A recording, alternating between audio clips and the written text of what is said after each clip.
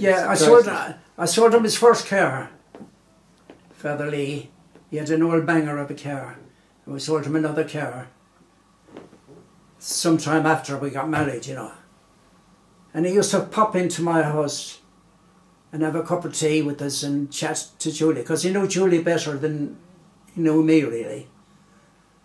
And uh, when he when he bought the church, well, it wasn't a church; it was a little pokey place. You know, the place at the back of the church. It's a shop now.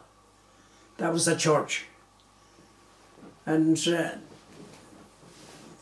I think they called it St. Joseph's then.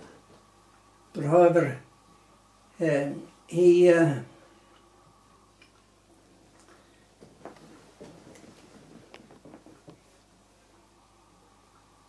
when uh, when he bought that place, he um, used to hold the masses in the little shop where the shop is now at the back. He used to hold the masses there. But he built the hall. He built the church hall. Father Lee did.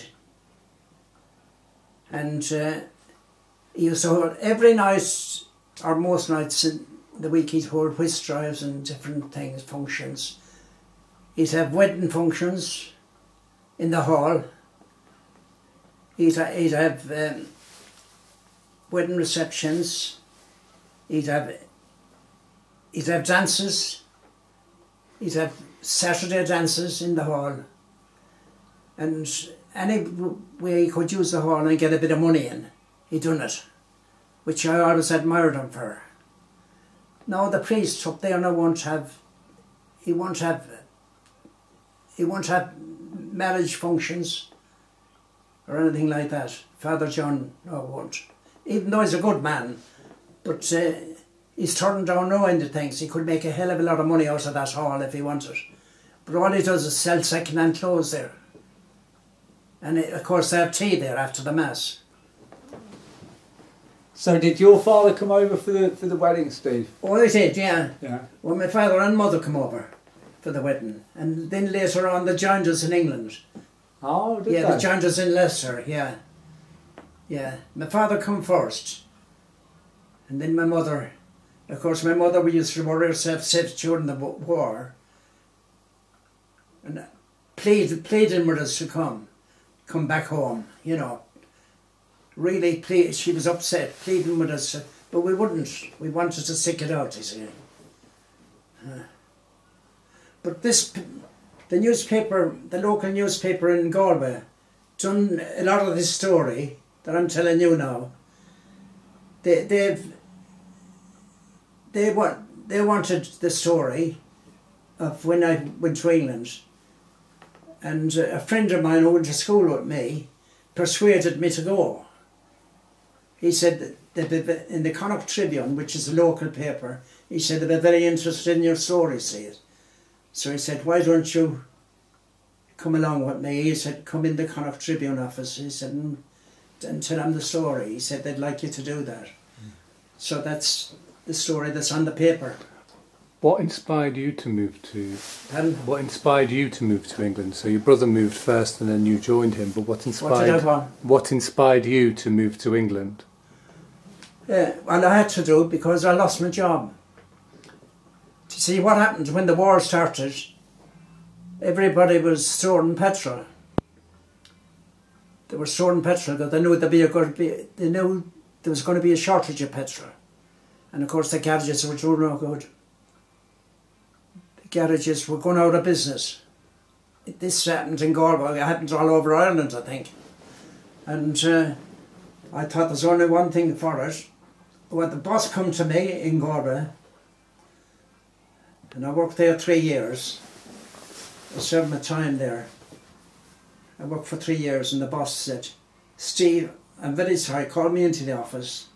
I'm very sorry, he said, I got to let two men go. There wasn't many, there was only about five of us there, five mechanics. And uh, he said, I, let, I got to let two men go, and I, I decided to make two single men. He said, You're not married. So he said, It won't hurt you so much. But he said, I got to let you go and another chap. that was working there. So they let the two of us go. Of course, I didn't have any prospect. Couldn't get a job. It was terrible. It was terrible. And um, so, so you've seen a lot of changes in, uh, in Leicester, haven't you? yes, I was, and then of course I was telling them, a school pal of mine, Jack Alinsky, I was telling him in Galway about it, and uh, he advised me to go to the local paper and tell the story, and that's on the paper. Yeah, Steve, the change, you know when you came to Leicester Uh, first, have you noticed a lot of changes since since you first arrived? a lot of one. Changes. Oh, I have. I have really, yeah. A lot of changes. Uh, changes, some for the better and some for the worse. But like, uh, I moved into the Highfields. I got digs in the Highfields when I come. And I, I was very lucky. Very lucky. My, uh, my brother knew those two old dears that lived on their own, own in a place called Bid- Biddulph Street. And uh, they wanted just one lodger. And I went along and seen them. And I had the digs there before I got married. And they were very kind to me. They were very, very kind, and they were good cooks. Both of them could cook, you know. What, Leicester ladies? In Leicester, yeah. They weren't Leicester ladies. One come from Northumberland, and the other one I think was a friend of hers. Yeah, and the two of them lived together. You see, So these changes, Steve, what, what, what else have you seen that sticks in your mind? in Leicester, we've seen a lot of changes really. Uh, some for the better, and and of course there's an awful lot of foreigners here now, as you know. some of them are good people, really. Like I got a Muslim this side and a Muslim that side, and they're okay here. They're good people, really. But uh, when They go, they, they go, they go to a different church than I do. uh, And, but it, uh, it took some getting used to this multiracial society. and, It took some getting used to this multicultural society. well, it did, but uh, there wasn't so much of it. There wasn't so much of it when I first come to Leicester. It was mostly Leicester people. and how did they treat the Irish? You think? Well, the, most of them, I got on quite well with them, really. I got on quite well with them, and I'd even go. I'd even go to the pub and have a drink with them. That's the way you got to mix, really, when you're in a different town. Did you ever go and follow the football, Steve? I did. I used to go to football matches. Not so much. My my sons are football mad. Uh, The two of them. can you remember any of the old games from Leicester at all? The old Yeah. days. From the 40s or 50s? I can't really know. I'm a bit forgetful now. The atmosphere. Of course, I'm. Big crowds in I, those I'm days. 85. Do you see? 95. 95. not 95. and uh, but uh, my sons love the football, and when when uh, I got one son lives in Bury St Edmunds in Suffolk, and another son lives in Anstey. I've just had the two. I didn't keep up the old traditions of the Irish of having big families. I was determined not to do that. But anyway, um, uh, there was nine of us in family. There was five sisters and not my four four brothers counting me. And uh, my mother always used to say, the main thing, she'd say, is the food on the table. And she said, even if I got to patch your trousers, she said, she said, we'll have to try and keep going.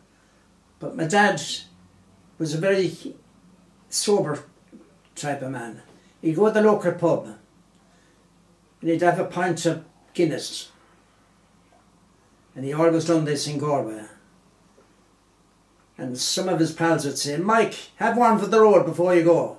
He'd say, no, I'm going back to my family. I've had one pint and that's enough. And he was very controlled that way, the dad was. Can I ask you one question about Galway? Yeah. Did you um, did you ever hear of Nora Barnacle? James Joyce's wife was from Galway, wasn't she? Who? James Joyce, the writer, his wife. No, Were they? Yeah. I just wondered if um, you ever heard of any stories of her, or did you know did you know that she came from Galway, or why I ask you this was was Galway a small town in 19? Oh, a small town, not much happened there. Yeah. When I left Galway, there was very little happened. There was the odd people used to come into it, but it was a, it, wa- it wasn't a city then. It's a city now, Ah, and it's a Maureen. Um, Maureen, who's my niece, and she was born in Leicester, and her sister Rosemary, because my brother went back to. He retired from the company before I did. My brother did, and he sold his shares to another another garage, and I kept in the company. You see? And uh, and I think I done another eight or nine years more. And I used to go back to Galway, and my brother at base said, "What do you think, Galway? Look, this is lovely." He said, "The sun is shining here." And I said, "Yeah," but I said, "You get a hell of a lot of rain." I said, and uh, so uh, Martin loved Galway. He was always talking about going back, but I never wanted to go back because I thought I'm happy here. You know, I'm, doing okay here. And uh, but Martin was determined to go back to Galway and, and finish up in Galway. And the two girls who were educated in Leicester, one went to the nuns' convent and the other one went somewhere else. And uh, they're over in Galway now, living in Galway. And they both married Irishmen. One married a Dublin man, another one mar- married a Galway man. And uh, they love living there. And uh, but uh, I, I like going back on holidays. Most years I go back on holidays and I enjoy it. And of course I got I got cousins there. I was in a house once two years ago. I got back most years. And we're in this house, a cousin's house. And they knew this is when my wife Julie was alive. And uh, we visited this house, I think it's my first cousin. And uh, the, there was 18 people turned up, all relations, to this house. And of course we were all there having a drink and a meal. So I looked round and said, bloody hell, I said, I didn't realise I had so many relations. She said, you got four or five more down the road, Steve. They- they- They'll, they'll see you before you go back. this was in Connemara. I don't know whether you have ever been to Connemara. Yeah. In uh, Les- Lettermullen, place called Lettermullen. It's near Carraroe. And uh, of course I got relations there. And I go and see them when I go. So the last time we went over, and I took my eldest son with me and his lady friend. And he done most of the driving because he likes driving my car. So over anyway, uh, he, uh, Ginny, she's an English girl, she loved it. She loved the free and easy way they go on, you see, which they do around Connemara. And uh, I said to Kate, her name was Kate, Kate is the first cousin. I said, Kate, what's the local hotel like here? She said, it's very good, Steve. What do you want a hotel for? She said, you can stop here. I got two bedrooms empty. You can stop here. You're welcome to stop here. So we stopped with them. Her and the husband. husband very quiet fella, but she had plenty to say. So Ireland is still very friendly, isn't it, in many respects like that? It is really, yeah, it is. Yeah. They make us very welcome when we go. Is there anything else which you would like to and add? uh, she she couldn't uh, Ginny James's lady friend she's a nurse down in Suffolk. She comes from Bristol. She's working in Suffolk. And she's got a she bought a house down there you see. And that's where my son is now my eldest son. But he, he loves that part of the country and I know quite a bit about that part of the country because I used to drive there when Uh. uh, when I got the job in in Leicester. Yes. Is there anything else which you would like to like to say or like to feel like we haven't really covered? And Is there any, is there anything else you'd like to add uh, any, about about about your story which you've told us? you can do really. That's uh, About the dances, Steve. Tell us about the dances in the 1950s. pardon? Tell us about your dancing escapades of the Well, 1950s. dancing. uh, Well, I didn't start the. I used to do dance sometimes in Coventry when I lived in Coventry, and um, of course there was a big Irish population there at the time. There is now even, and uh, I lived in Radford, a place called Radford, in Coventry. Did you dance at the Co-op Hall in Leicester? Where? The Co-op Hall. Yes, Yeah. I've been to Co-op Hall. Uh, we had a wedding reception there when my niece got married at the Co-op Hall. And uh, Georgina, her name's Georgina and, and Kate. Kate is, she works in the market. She's worked in the market for 32 years.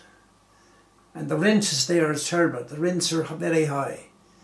So I said, why don't you get the rent down? Why, why don't you pay? So she said, I will, Steve, and she tried it. And uh, you know what they said to her when they interviewed her? It's uh,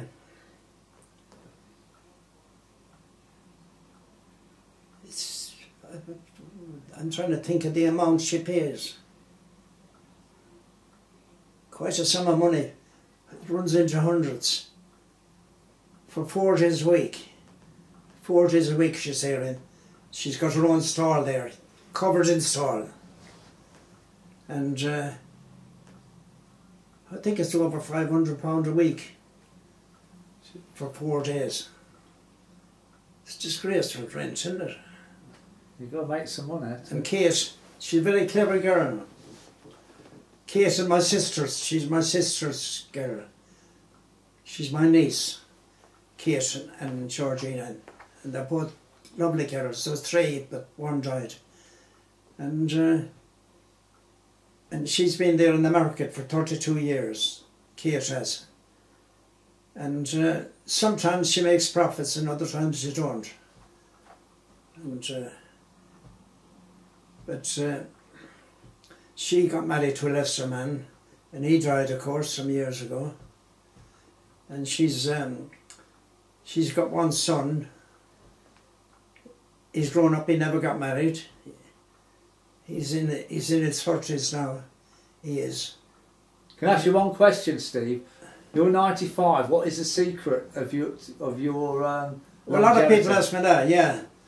Well, uh, I've always been a careful careful on the drinking. You know.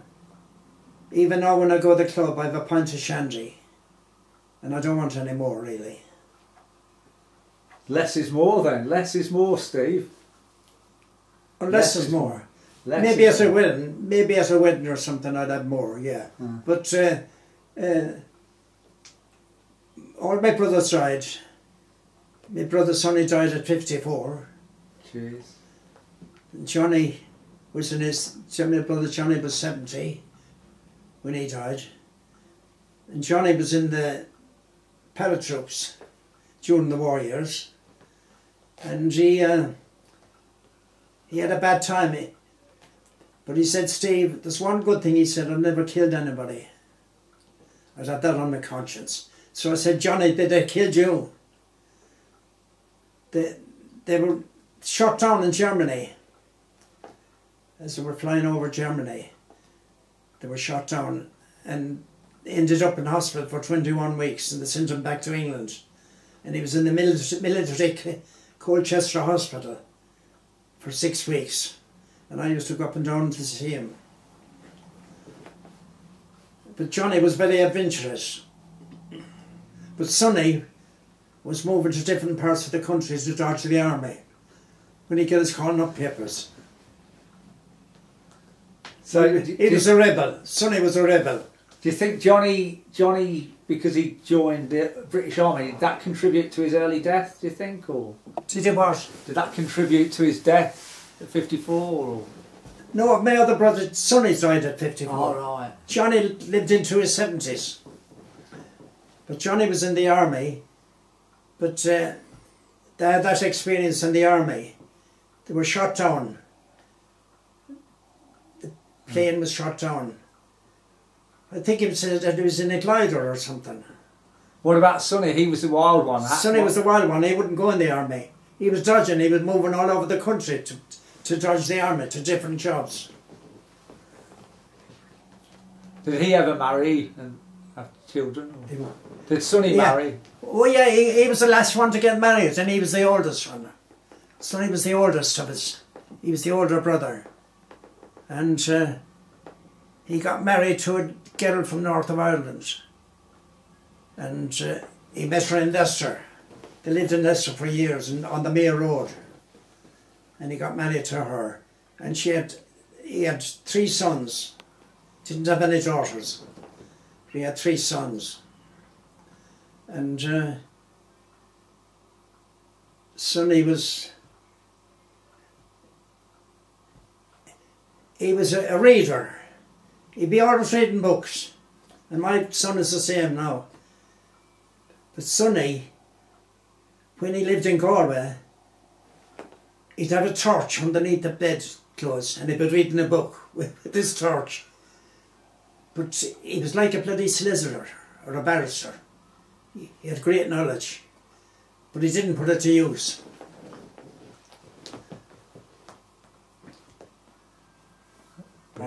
Brilliant, yeah. If there's anything else you'd like to add, we'll we'll we'll wind it up. If Yeah, if- But uh, anyway, a lot of it is in there, cool. and uh, Well, what we'll do, what we'll do is we'll, we'll, what we'll a do is we'll of that, scan. yeah. we'll, we'll we'll we'll we'll we'll photocopy this. Yeah. We'll take some scans of it. We're going to be making. no, a, that was printed five years ago. sure. I was seven. Uh, Yeah, we, we, we, we're going to we're going to like, uh, we're going to we're going to create a nice big display okay, of, yeah, of people's stories and stuff be- like that. Oh, that'll be good, yeah. Yeah, so we're going to we're going good. to do that and But you see, the, the reporter who took me back, Mm. he said, "Can you show me where you lived?"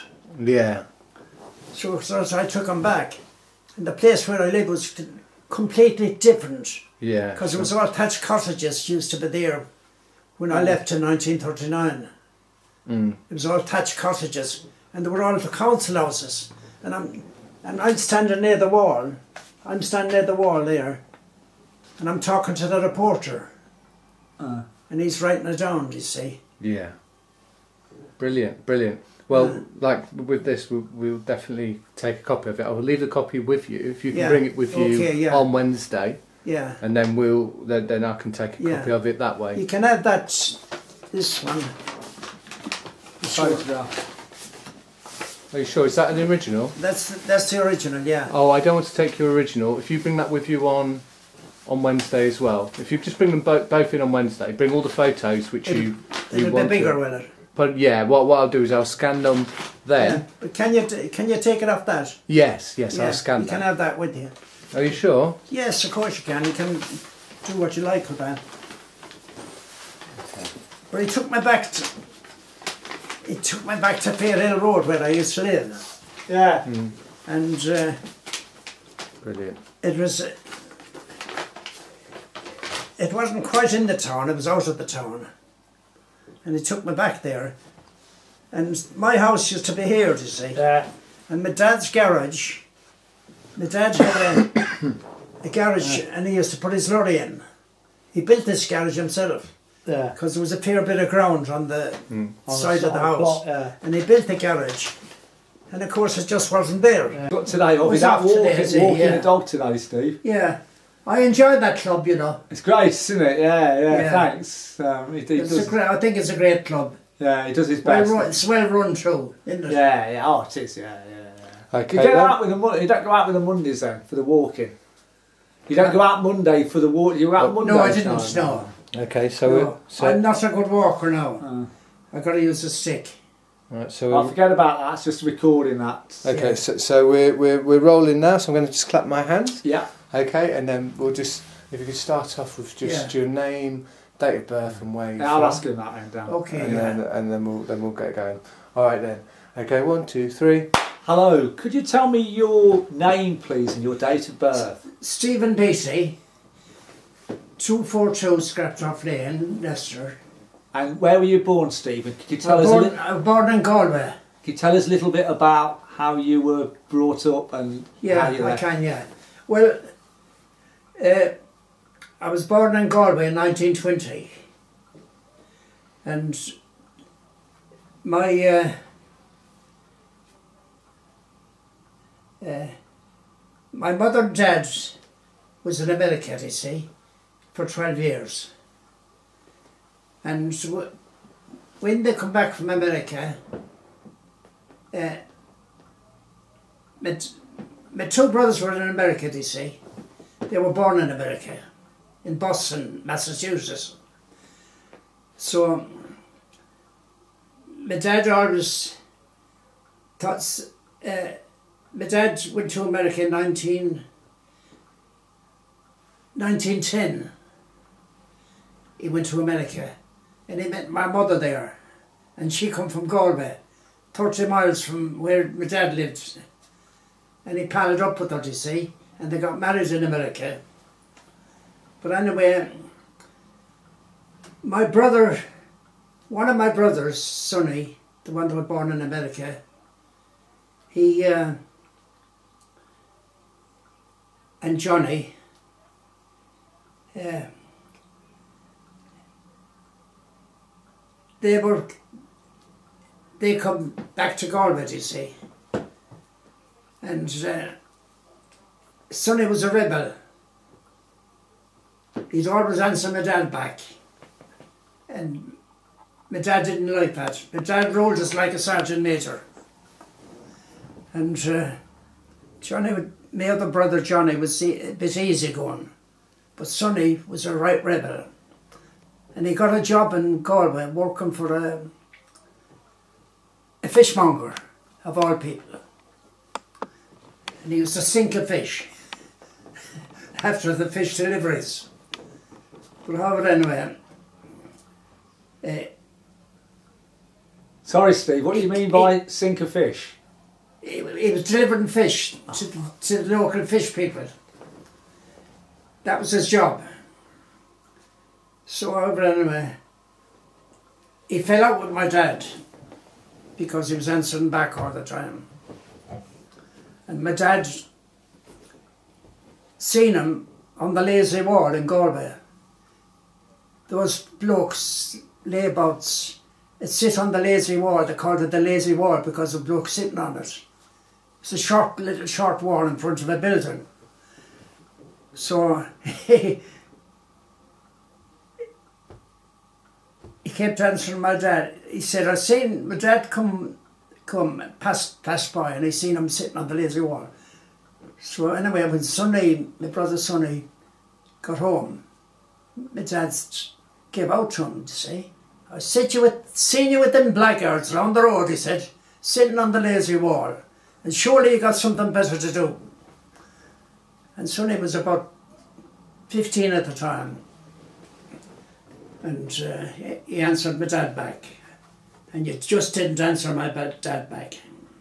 You had to go along with him, which I did many times, because he was very strict. But I went in there. Uh, he hurt Sonny, he really hurt him. Belted him with the stick, you know, because that was the rule at the time. So he, he Sonny cleared off and nobody could find him.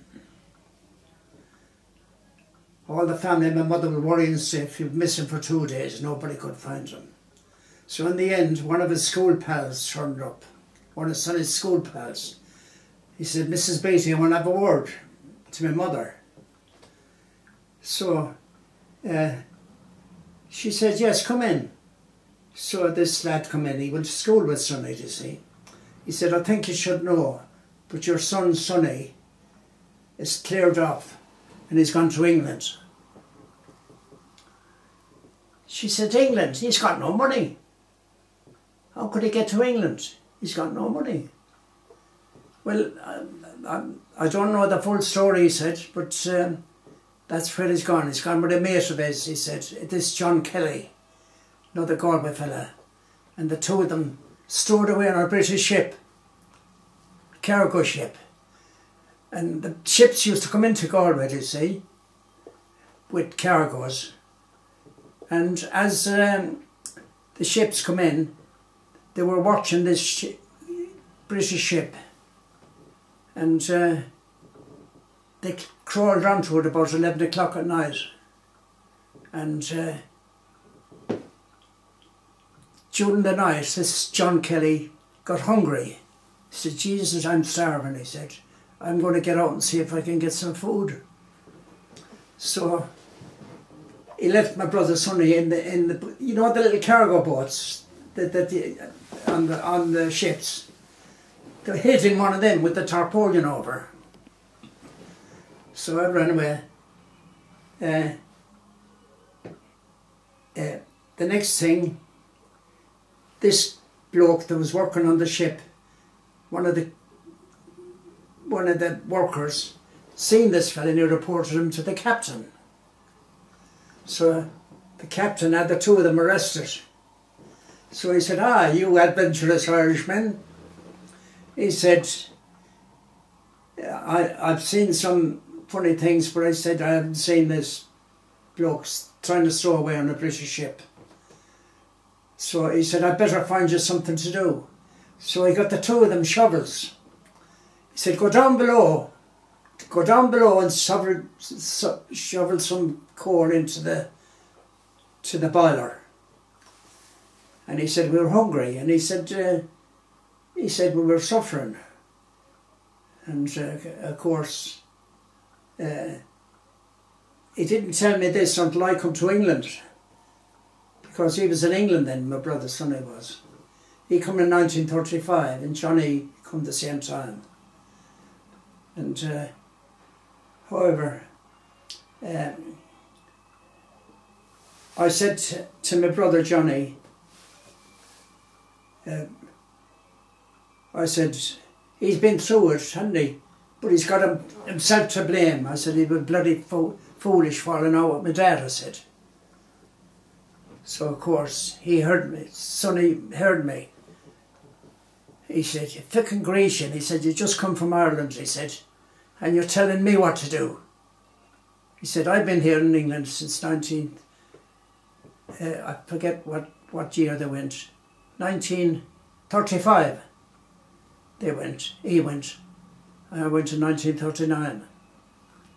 So of course he tore a strip off me for I'm a bloody Grecian from Ireland telling me what to do. But however anyway, he, uh, three of us lived in Coventry because he was in Coventry, you see. And when I joined him, and uh, we lived in a place called Radford, Radford Road in Coventry and which is a nice part of Coventry. And uh, of course, then uh, the war, the war has started, and uh, the three of us were in digs, three brothers, in digs together, and the, the landlady was an Irish woman. Her name was Helen Morden, and uh, we were all rationed with food, of course. But uh, we had to, you know, we had to, everybody else was in the same predicament, you know. We had to put up with it. So Did you work through the, the war years? I did, yeah, yeah. And uh, there was an area shelter at the bottom of the the garden, and uh, when the when the sirens would go, we'd go down to the shelter. We'd all run down to the shelter, and sometimes you could be there for, for hours and hours. The landlady always said, "Take some sandwiches with you," and we'd take some sandwiches and a flask of tea with us. You know, because you'd probably be overnight there very often, which we were. So, on the November Blitz, I think it was 1940, uh, we were in the shelter and we could hear the bombing. We could hear the bombing. This shelter, I don't know whether you ever seen one. Uh, they called it Anderson, Anderson Shelter. So we were uh, right down the end of the garden. That was, and part, partly underground and partly up. The roof, the roof was on up, you know, up higher up, as you, as, as you know and uh, we were all night from 10 o'clock at night till 5 in the morning in the shelter. And of course my brothers, my two brothers were smoking. I, I wasn't a smoker then. Well, I, I was a smoker for many years, but I don't smoke now. But however, um, the all clear went at 5 o'clock in the morning. So we come out and went into the house. But as we went into the house, we noticed the windows were blown out. So of course there was glass all over the there was glass all over the the room. And the gas was escaping. So the landlady's brother, who lived in the house as well, his name was Bill Moran. Bill said, I'll go and turn the gas off. And he went and turned, don't attempt, don't attempt anybody to smoke, he said, while the gas was escaping. And uh, he turned the gas off, and then the landlady done some tea and sandwiches for us. And uh, and then this Bill Moran said, come on, he said, we got to get a start. And I think he went next door got a, borrowed a couple of shovels. There was a couple of shovels in the house, but he borrowed a couple of more shovels. And we there we are scooping up the glass and the the ceilings come down, you see. And uh, we uh, the, the similar story to what's in this part of. I'll probably tell you a bit more. But however, anyway, uh, we uh,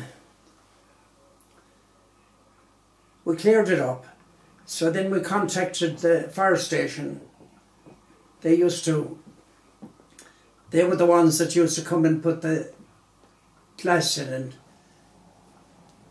bring people back to normal, as normal as they could. So they could put roofing felt on the window and a little bit of polythene on the top. So the landlady said to him, Aren't you going to put a glass in? Oh, he said, not likely. He said, that could be blown out again. You'll have to put up with that until after the war. And that's what they done. And uh, there we are, more live, during the daylight especially, during the day, living in, the room was dark, unless you put the lights on. But then you weren't allowed to put the lights on at night because the wardens would be coming and you've got a light on. Was that was that the night of the big bombing in Coventry? Pardon? Was that the was that the big blitz in Coventry? It was, yeah. It was, yeah. It was a terrible time, really. A terrible time. And do you see, in Leicester, they didn't get much. I think there was only three or four bombs dropped in Leicester altogether. And uh, where, where the bombs were dropped in Leicester, we, uh, we built our car showroom, my brother and me, after many years. First of all, we opened uh, an open pitch, open pitch car park. And uh, I remember that well. This is when I come to Leicester, rather. Yeah, tell us when you come to Leicester. What year was that, Steve? 1945. My brother, one of my brothers were uh, transferred from Coventry to Leicester. He worked for Armstrong Whitworth in Coventry and they had a factory in Leicester and they transferred him from Coventry to Leicester. And it, he wrote to me, because there was no phones then, he wrote to me and he said, Steve, why don't you come and live in live in Leicester? He said, it's a far more pleasant place to live than what Coventry is, because Coventry was a, not much of it left really. Very badly bombed. Every night they were at every night they were bombing Leicester. Or Coventry, yeah. Or Coventry, yeah, I get it all mixed up. Yeah. And, uh, but however, anyway, I come to Leicester and of course I'm here since. But uh, I've got no regrets living in Leicester, you know. You found the I Leicester was, lucky, I was lucky in Leicester, Yeah. More luckier than I was in Coventry. What, what do you the mean by that? the country people suffered. They really suffered because there was hardly a house escaped. And uh, then, of course, uh, what next? I got a job first a, uh, Pickford's in Leicester as a driving job, driving a lorry. So one one morning the foreman said, We want a night driver. We want a night driver. Would any of you lads like to apply for the night driving job? You get more money. So I said, How much more? He said, Your wages will double if you take on night driving, because I couldn't get night drivers. So I shook hands with the foreman and said, I'm on. I'll do it. And I've done that for four or five years. And uh, uh, first of all, it was hard because we were driving in the blackout. And the first trip we done was to London. And they sent a driver with me to show me the way, you see. So, uh, the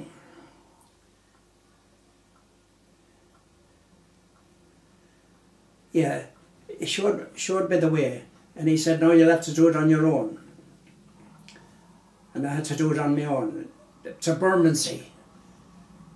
It was more or less a straight journey, really. But then, of course, you when you got to near Bermondsey, you you lost your way. You had to inquire, and uh, their depot, then their depots all over the place. Pickford's, they were a very big, very big com- haulage company, and uh, the oh yeah. When the when the when the foreman said no, you'll have to do it on your own. So and so has been with you, and he showed you the way. So now you'll have to do it on your own, Steve. So I said, okay.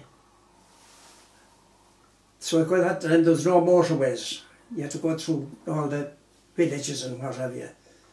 So I started off with Northampton and and uh, the uh, when I got to Northampton, it was an Arctic. Well, I was used to shunting them really, more shunting them than driving them really. And uh, they were different on the reversing. I don't know whether you had ever driven in there, but they were different on the reversing. You had to get used to the, the reversing. So there wasn't much traffic on the road at all at that times. So what did I do? Northampton took me six about six times before I got the hang of it, of this outtake. I could drive one forward all right, but the reversing I wasn't too well up on. So I started reversing. In a quiet, I found a quiet road in Northampton and I started reversing. It took me about six times to get the bloody hang of it. So when I got to Bermondsey, the foreman called me Paddy. Paddy, uh, there's a space there, reverse in there. So I reversed in there. I'm very proud of myself, I'll tell you. I've, I've done it. I got the hang of it, you see. I thought, I'm, I'm away, I'm away. So at that time I used to do many trips to London, Leeds, Doncaster, all over the country really. I was driving this lorry, you see, to, you had to go different places. And I got quite, I got quite, quite an expert on it in the end. And, but my wages went right up. And that's what tempted me to go on nights.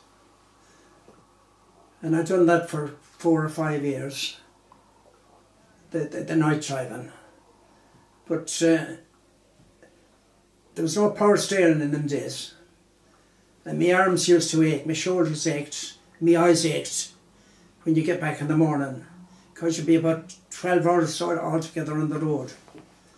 But uh, I got the hang of it in the end. And you saved some money up then from, from that? Did you save some good money up from that? Oh, I did. I got very good money, and, and of course I wasn't a, a drinker, you know, at that time.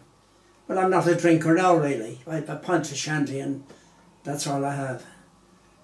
But uh, the, the um,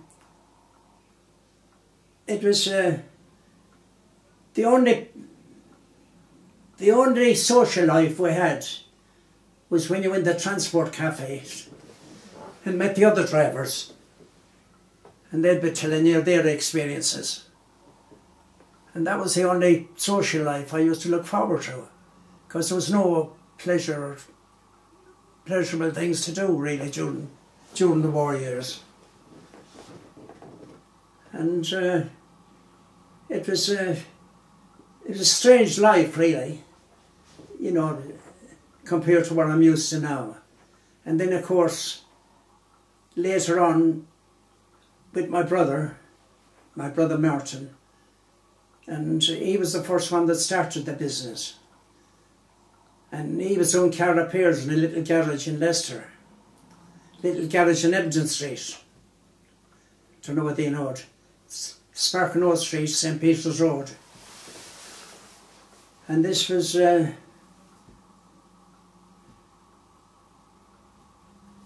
it was well after the war when we started there. And uh, I'll tell you in a minute the exact year. 1947, I think. 46 or 47, we started in the business. The two of us, Martin and me. But Martin was the first one that was there. Martin was my younger brother. He was two years younger than me.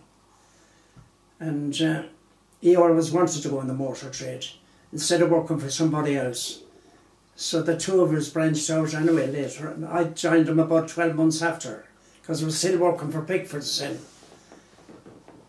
And Martin said, why don't you come in with me, Steve? He said, I got plenty of work. Well, of course, I served my time in Galway as a mechanic. I've done three years in Galway as a mechanic. And of course, I had a good idea about cars, you know.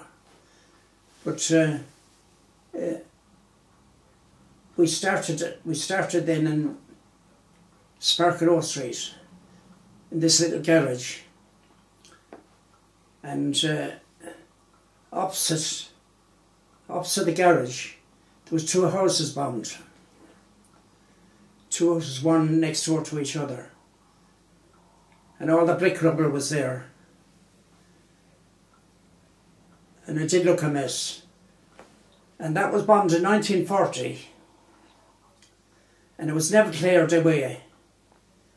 It lay there all during the war, and I think it was a good many years after the war uh, when we decided to buy the property as it was, all brickwork, rubble.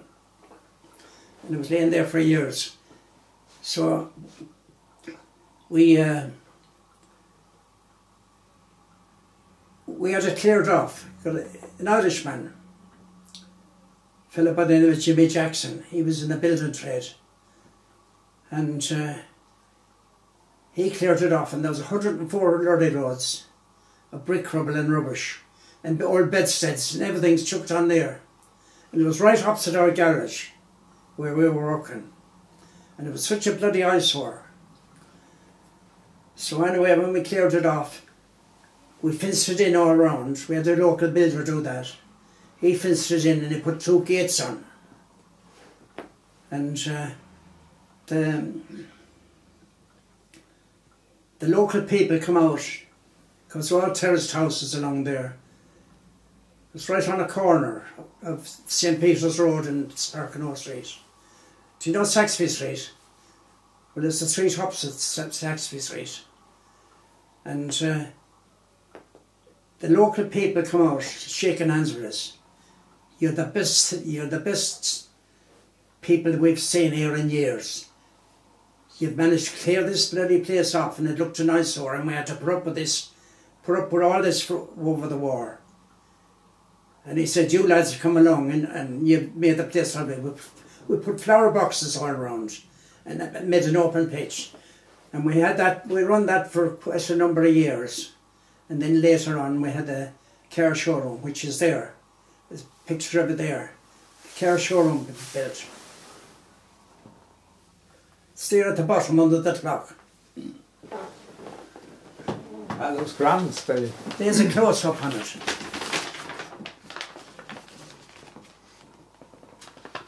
Thank you. Yeah, what we'll do is we, we will um, Yeah. scan it and, and, and we'll put it Yeah. in. We'll add it So, into what was your impressions of the Leicester people when you first Just came? just one second. Could I just? Uh, Well, they used to call me Paddy and I didn't like it.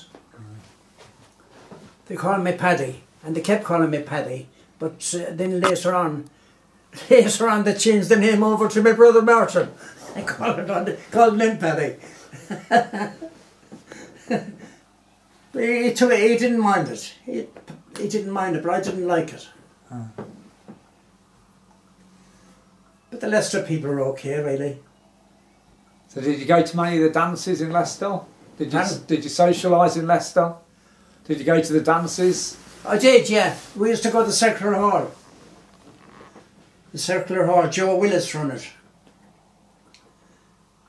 And uh, then I met a girl in Leicester. She was Irish, she, she come from County Limerick. And her name was Julie McGrath.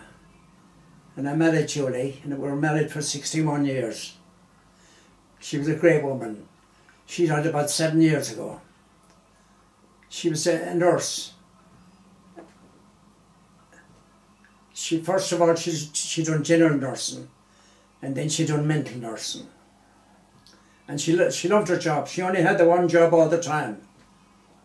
So, did you get married in Leicester? We got married. Father Lee married us. Do you remember Father Lee? Yeah, what a great man he was. He had St Joseph's Church.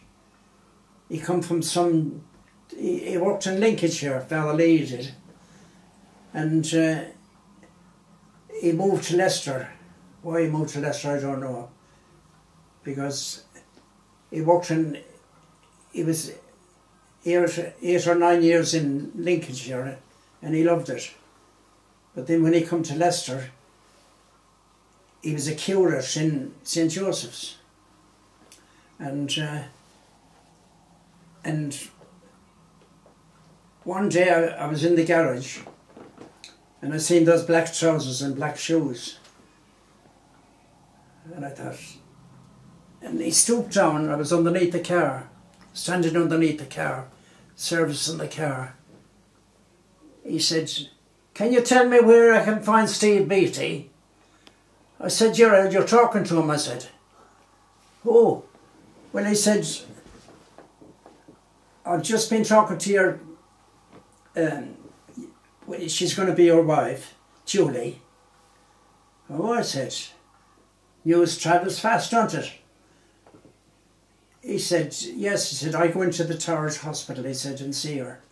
And she's going to get married to you on January the 4th. That's right, I said. And he said, I'll be in my church. Because that was her church.